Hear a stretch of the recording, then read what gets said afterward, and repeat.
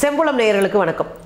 India பெண்களும் குழந்தைகளும் வாழ தகுதியற்ற நாடுகளினுடைய பட்டியலில் முதலிடத்தில் இருக்குது பெண்கள் பல்வேறு வகையாக சுரண்டப்படுகிறார்கள். குழந்தைகளும் சுரண்டப்பட்டு கொண்டே இருக்கிறார்கள்.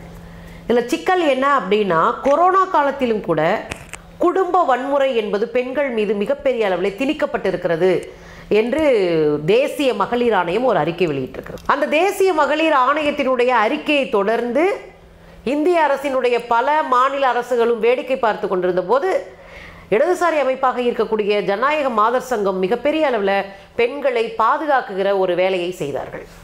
அப்போ தொடர்ந்து பெண்கள் மீதான வன்முறை பெருகிக்கொண்டே போகிறது. பொருளாதாரமற்ற சூழலில் யார் தாக்கப்படுவார்னா குடும்பத்தில் உணவை குடும்ப வளர்ச்சியை பார்க்குற பெண் தான் மிகப்பெரிய தாக்கப்படுகிறார் குழந்தைகள் வந்து மிகப்பெரிய அளவில் சஃபர் ஆகும். இந்த பெண் தாக்கப்படுறதுனால. இப்போ டாஸ்மார்க்கை திறந்து வச்சிட்டாங்களா? பெண்கள் தான் பெரிய அளவில் சஃபர் ஆவாங்க. அப்போ பெண்கள் குடும்ப வன்முறையில் மட்டும் இல்லை சமூகமும் தொடர்ந்து பெண்களை வன்முறைக்கு உள்ளாக்கி கொண்டே இருக்கிறது. கிட்டத்தட்ட இருநூறு மடங்குக்கு மேலாக பெண்கள் மீதான வன்முறை இன்றைக்கு உலகம் முழுவதும் அதிகரித்து வந்திருக்கிறது என்று சொல்கிறார்கள். இன்னொன்று கூட சொல்றாங்க அப்படின்னா மூன்றில் ஒரு பெண் கண்டிப்பாக பாலியல் சுரண்டலுக்கு ஆளாகிறார் என்று புள்ளி விவரம் சொல்கிறது. மூன்றில் ஒரு பெண்ணு பாலியல் வன்முறைக்கு கண்டிப்பால ஆளாகுகிறார் அப்படின்னு உலக புள்ளி விவரம் சொல்லுது. அப்போ அந்த பெண்ணும் பெண் குழந்தைகளும் சரிநீதியோடு சரிநிகர் சமானத்தோடு இந்த சமூகத்தில் வாழ்வதற்கான ஒரு ஏற்பாட்டை இன்றைக்கும் நம்முடைய சமூகம் எதிர்கொள்ளவில்லை செய்யவில்லை என்பது வருத்தத்துக்குரிய விஷயமா இருக்குது அதில் குறிப்பாக நீங்கள் பார்த்தீங்கன்னா இந்தியா முழுதும் நடந்த பாலியல் வன்கொடுமைகளும் இந்தியா முழுவதும் நடந்த மிகப்பெரிய தாக்குதல்களும் பெண்கள் மீதும் குழந்தைகள் மீதும் நடந்தது என்றால் அதில் எண்பது சதவீதம் பாதிக்கப்பட்டவர்கள் பெரும்பாலும் தலித்துகளாக இருக்கிறார்கள். இது பெரிய அதிர்ச்சியான செய்தி. ஏன் தலித்துகளாக இருக்கிறாங்க? பெண்களும் குழந்தைகளும் ஒரு ரேப் பண்ணப்பட்டால் தலித்துகளாக இருக்கிறாங்க.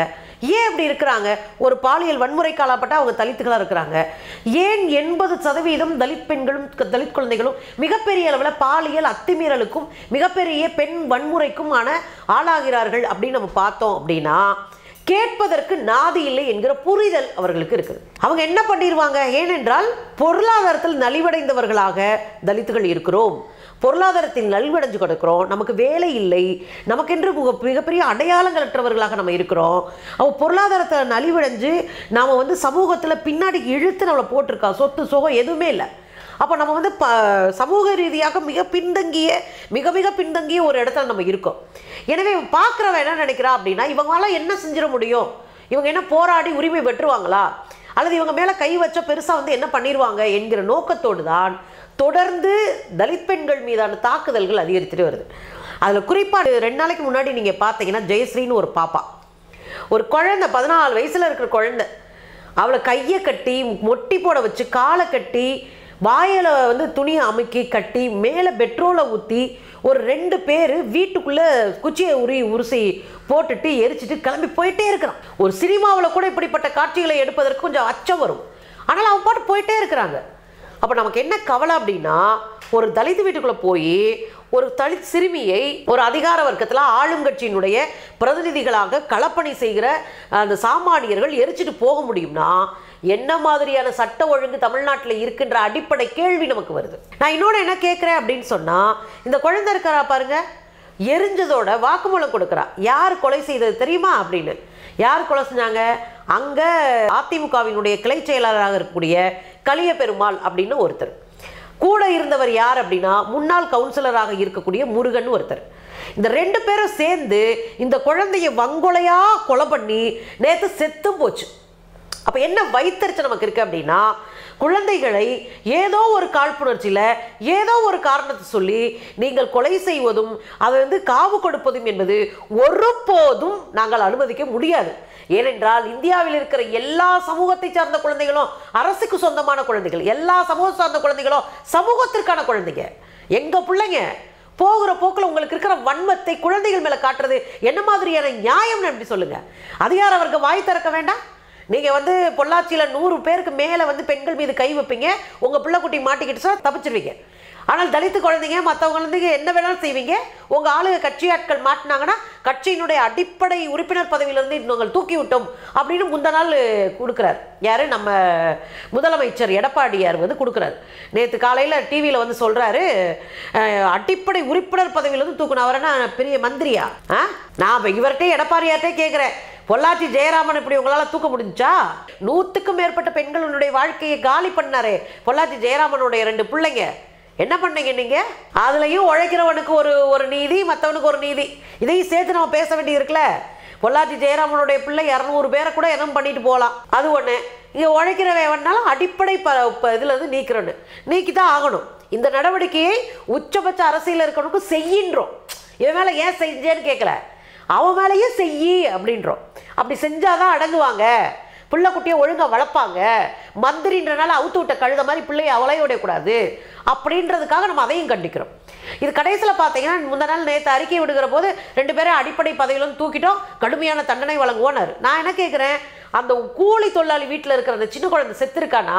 அவங்களுக்கு ஒரு சமூக நீதிக்கான ஒரு ஏற்பாடு வேணா அவங்களுக்கு ஒரு வேலை வாய்ப்பு கொடு. அந்த மனசை ஆத்திக்கிறதுக்கு ஒரு ஏதாவது ஒரு அடுத்தபடியான ஏதாவது ஒன்று செஞ்சு கொடுங்க அரசாங்கம்.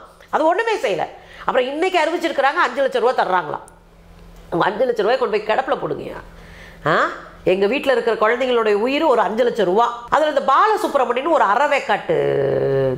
தண்டம் ஒன்று இருக்குது அது ஏன்னா பிஜேபி போல இருக்குது நேற்று நேரம் வந்து சேர்ந்துச்சு போல இருக்குது அது நான் தான் நான் தான் நான் தான் குதிச்சுட்டு அதை நம்ம கடந்து போகணும்னு தான் நினைக்கிறோம். ஆனால் அந்த அறவேக்காட்டு முண்டம் இந்த செய்தியை வேறு மாதிரி மாற்றுது என்ன மாற்றுது அப்படின்னா தலித்து அப்படின்னா அடங்கமறு குரூப்பு ரெண்டா உங்களுக்கெல்லாம் நாங்களாம் அடங்கமறு குரூப்பா ஆ? தலித் அப்படின்னா அடங்கமறு குரூப்பு இன்னொரு முஸ்லீம் பேரை போட்டு அவர் தான் இதை பண்ணியிருக்கிறாரு. அவங்கள பற்றி நீங்கள் எதுவும் பேசலை. அட கூமுட்டை பதிவு பண்ணி அந்த பிள்ளைகிட்ட கடைசியாக வாக்குமூலம் வாங்கும்போது தான் அந்த பிள்ளை உயிருக்கு போகிறது கொஞ்ச நேரத்துக்கு முன்னாடி கொடுத்த வாக்குமூலத்தில் தான் கலிய பெருமாளும் முருகனும் என்னை எரிச்சு கொன்னாங்கன்னு கொடுத்துட்டு செத்துருக்கு அந்த பொண்ணு. அப்போ என்ன அர்த்தம்?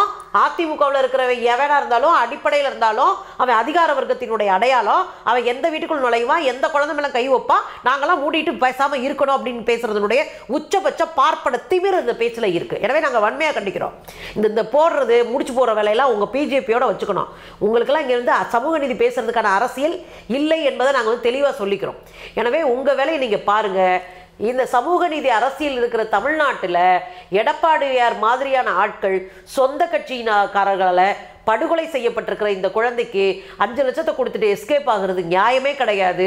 குற்றவாளிகளுக்கு மிக கடுமையான ஒரு தண்டனை வழங்குவதோடு அந்த அப்ராணியாக இருக்கிற அந்த பெற்றோருக்கு ஏதாவது ஒரு வேலை வாய்ப்பு கொடுத்து குறைந்தபட்சம் மன ஆறுதலையும் நீதியுமா நீங்கள் கொடுக்கணும் அப்படின்னு நம்ம கேட்டுக்கிறோம். அதோடு இல்லாமல் குழந்தைகள் மீது கை வைக்கிறவர்களுக்கு மிக கடுமையான தண்டனை கொடுத்தா மட்டும்தான் தமிழ்நாட்டில் குழந்தைங்களை பாதுகாக்க முடியும். தொடர்ந்து தமிழகம் குழந்தைகள் பாதுகாப்பற்ற மாநிலங்களுடைய பட்டியலில் ரெண்டாவது இடத்துல இருந்துட்டு இருக்கு அப்படின்ற வருத்தமான செய்தியும் நம்ம சேர்த்து பதிய வேண்டியிருக்கு. அப்போ இங்கே சட்டம் ஒழுங்கு சரியில்லை. பெண்கள் மீது யார் வேணாலும் கை வைக்கலாம். அன்னைக்கு பொள்ளாச்சி இன்னைக்கு நாகர்கோவில் கன்னியாகுமரி. தமிழக அரசு பொள்ளாச்சியில் கடுமையான நடவடிக்கை எடுத்திருந்தா இன்னைக்கு காசின்னு ஒருத்தன் வந்து கே நாகர்கோயிலில் மாட்டியிருப்பானா? நூற்றுக்கணக்கான பிள்ளைங்க மாட்டியிருக்குமா?